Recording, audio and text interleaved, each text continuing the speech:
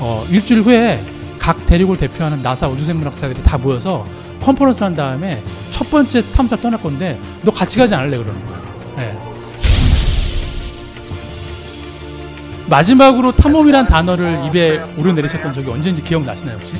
어, 3일 반나절 동안 230km를 걸어 나왔습니다. 어, 내가 살 수 있을까? 죽는 거 아닌가? GPS 위치를 확인한 다음에 구조 요청을 할 생각입니다. 제가 화성으로 잠깐 좀 가보겠습니다. 이때는 스스로 알고리즘에 의해서 착륙을 해야 되기 때문에 이 과정이 마의 7분이라고 불리는데요. 여러분 지금부터 종이접기 한 10년만 열심히 하시면 나사에 취업이 가능하십니다. 아마 2020년도에 화성 탐사선이 화성에 가서 어, 이런 모습으로 날고 있겠죠. 네, 잠깐 하와이로 가보겠습니다. 쉽게 말하면 미치지 않고 잘 버틸 수 있는지 네, 그 고립 실험을 한 거죠.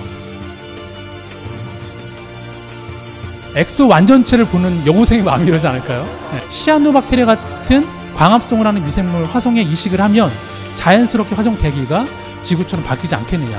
자, 이게 과학이고 예술이지 뭡니까? 잠깐 수십억 년 전 바닷 속으로 들어가 보겠습니다. 니넨 도대체 무슨 생명체냐는 거죠.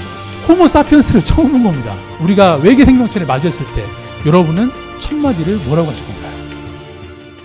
과학이라는 거는 어, 초등학생 아이들이 궁금해하는 질문을 수천억 원의 돈을 들여서 수천 명의 과학자가 그 답을 찾는 거라고.